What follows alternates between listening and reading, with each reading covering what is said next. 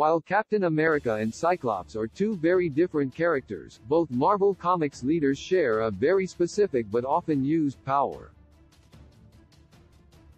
Steve Rogers is usually found as the commander of the Avengers and Cyclops is the X-Men leader in the field, often subservient only to Professor Xavier, and both characters have made very difficult decisions in order to protect their teams.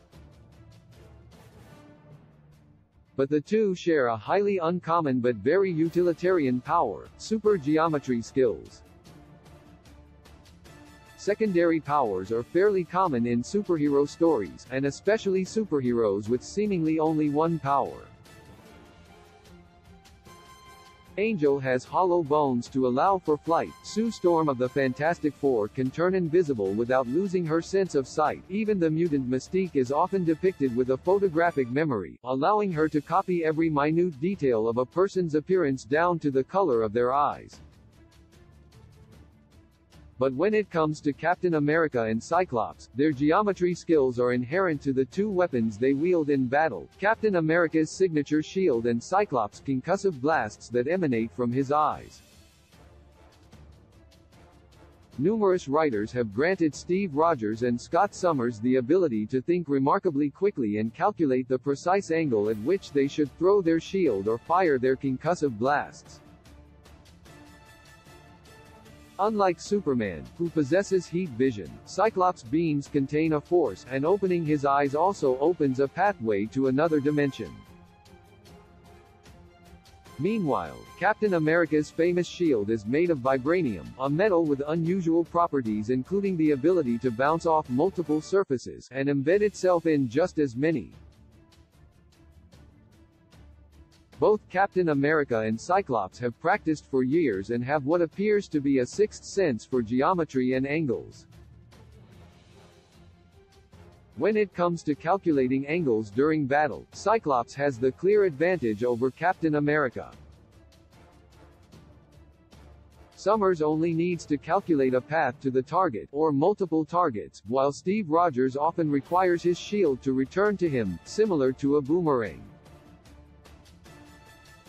The two character not only share powers, but a rivalry of sorts. They clashed during the first encounter between the X-Men and the Avengers, and Avex, Avengers vs. X-Men, depicted the two leaders fighting for their respective sides, and a clear distinction was made. Cyclops is mostly a self-taught leader and fighter while Captain America received training from the government, something which Cyclops believes is a corruptive influence. From a metatextual point of view, Steve and Scott's powers of geometric awareness represents their status as leaders of their respective teams. They must consider every option and see the entire battlefield and the political situation from every angle. Both Captain America and Cyclops not only share a unique power, but a unique point of view. As leaders, only they can see just how vulnerable their teams have truly become in the modern era.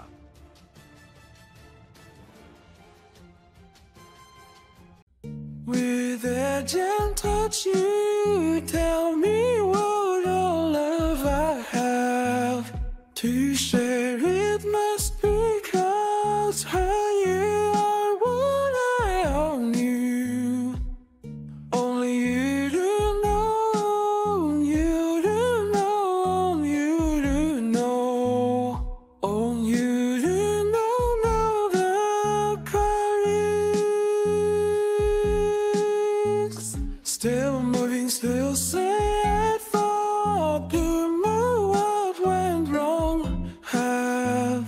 sad